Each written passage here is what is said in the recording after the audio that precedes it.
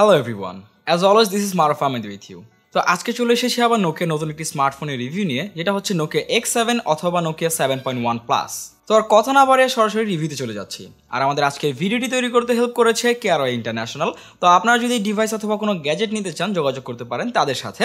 নিচে ডেসক্রিপশনে সকল কন্ট্যাক্ট ইনফরমেশন দেওয়া আছে।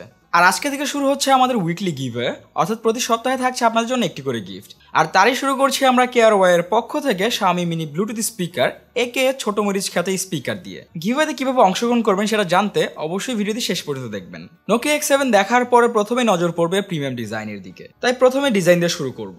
ডিভাইসটির ফ্রন্ট এবং ব্যাক প্যানেল দুটোই গ্লাস বিল্ড, এবং এর চারপাশে থাকছে সিলভার কালারের aluminium frame. Back part glass build হয়, এই ডিভাইসটি অনেক স্লিপারি ছিল, আর এরই সাথে ফিঙ্গারপ্রিন্ট ও দাগছোপ পড়ার সম্ভাবনা তো থাকছেই। তাই চাইলে স্টিকার বা কভার ইউজ করতে পারেন।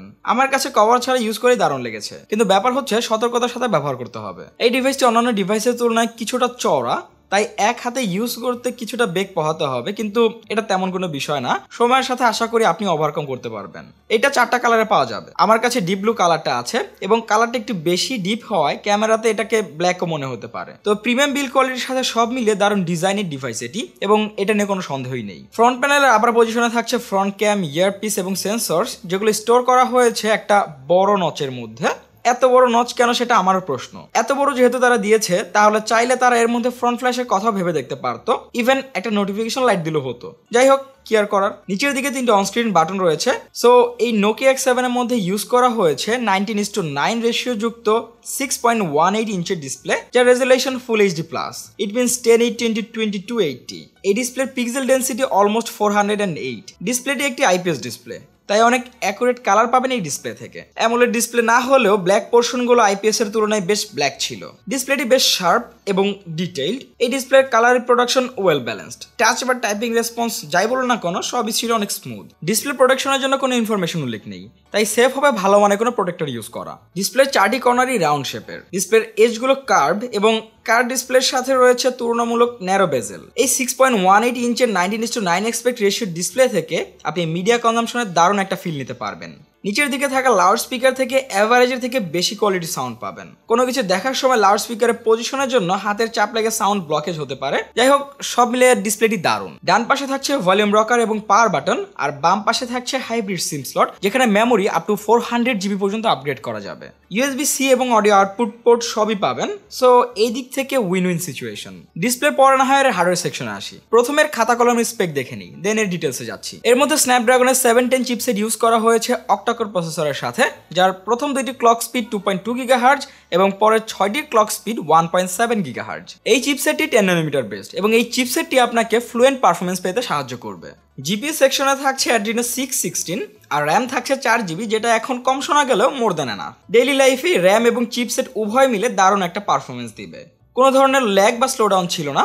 ইভেন ব্যাকগ্রাউন্ডে যথেষ্ট পরিমাণ অ্যাপস রাখার পরেও পারফরমেন্সের তেমন কোনো তারতম্য লক্ষ্য করা যায়নি। পারফরমেন্সের জন্য এটা অ্যাকচুয়ালি বাজেটে দারুণ ছিল। আপনাকে এর ক্যাপাবিলিটি নিয়ে বিন্দু মাত্র টেনশন করতে হবে না। গেমিং এর ক্ষেত্রে সেম পারফরমেন্স পাবেন। গেমিংও চলেছে বাধাহীন ভাবে পাবজি বাই ডিফল্ট হাই গ্রাফিক্সে খেলেছি এবং শুরুর দিকে মাঝে মাঝে কিছুটা ল্যাগ দেখা গেলেও পড়ার কোনো সমস্যা হয়নি। এক্সটেন্সিভ হিটিং এ বিষয়ও পাবেন না। গেমিং নিয়ে আশা করি আপনাদের কারও কোনো কমপ্লেন থাকবে না।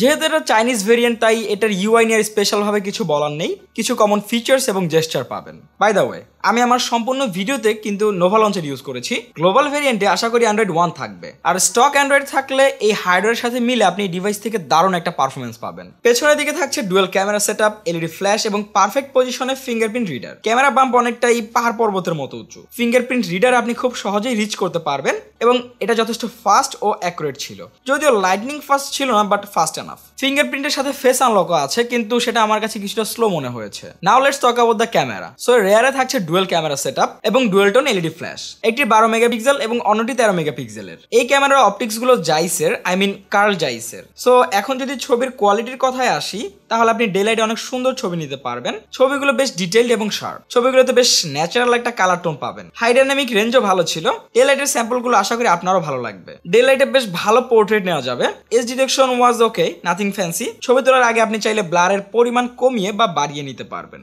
Rear camera aperture F one point eight aperture কম হওয়ার দরুন আপনি লো লাইটে অনেক ভালো ছবি নিতে পারবেন। লো লাইটের ছবিগুলোতে আসলে তুলনামূলক অনেক কম নয়েজ এবং গ্রেইন পাবেন। শাটার কিছুটা স্লো হয়ে যায়, তাই চেষ্টা করবেন শক্ত হাতে ছবি নেওয়ার। ফ্রন্টে থাকছে টোয়েন্টি মেগাপিক্সেলের শুটার এবং এর aperture F two point o day light এবং লো লাইটের সেলফি ঠিক আছে, কিন্তু আমার কাছে ডিটেলস এবং শার্পনেস কম মনে হয়েছে। পোর্ট্রেট সেলফি নেওয়ার সময় মাঝে মাঝেই ব্যাকগ্রাউন্ড ওভার ব্লোন হয়ে যায় এবং ফ্রন্ট ক্যামেরা এস ডিটেকশনটা কিছুটা সমস্যা করছিল, কারণ কিছু প্লেস সহজেই মিস করে যাচ্ছিল। বাট এগুলো ফিক্স করা পসিবল এর মধ্যে three thousand five hundred milliamp আওয়ারের fixed battery use করা হয়েছে। ব্যাটারির দিক থেকে এটা মোর দ্যান ডিসেন্ট সাধারণত নর্মাল ইউজে আপনি একদিন পার করে নিতে পারবেন। আর হাই ইউজে আপনি প্রায় সাড়ে ছয় ঘণ্টার আশেপাশে স্ক্রিন অন টাইম পাবেন। আর ফাস্ট চার্জিং থাকার সুবাদে আপনি এক ঘণ্টা তিরিশ মিনিটের আশেপাশে ফুল চার্জ করে নিতে পারবেন। বর্তমানে এর প্রাইস সাতাশ হাজার টাকার আশেপাশে। অফিসিয়ালি আসবে কিনা সেটা এখন সঠিক জানাতে পারছি না, তবে অফিসিয়ালি আসলে অবশ্যই দাম কিছুটা বাড়বে। অফিসিয়ালি বা আনঅফিসিয়ালি যাই হোক না কেন গ্লোবাল ভেরিয়েন্টে আসলে আশা করি ডিভাইসটি অনেকেরই চয়েস লিস্টে চলে আসবে। তো এখন গিভের ব্যাপারে বলি। গিভওয়েতে পার্টিসিপেট করা একেবারেই সহজ। নিচে ডিসক্রিপশনে একটি লিঙ্ক আছে, যেটা ওপেন করলে এমন একটি স্ক্রিন আসবে। আপনার এখানে মেইল বা ফেসবুক আইডি দিয়ে লগ করতে পারবেন এবং লগ করার পরে নিচে দুইটা টাস্ক আছে। একটি হচ্ছে চ্যানেল সাবস্ক্রাইব করা এবং অন্যটি হচ্ছে পেজে লাইক দেওয়া। ব্যাস, কাজ শেষ।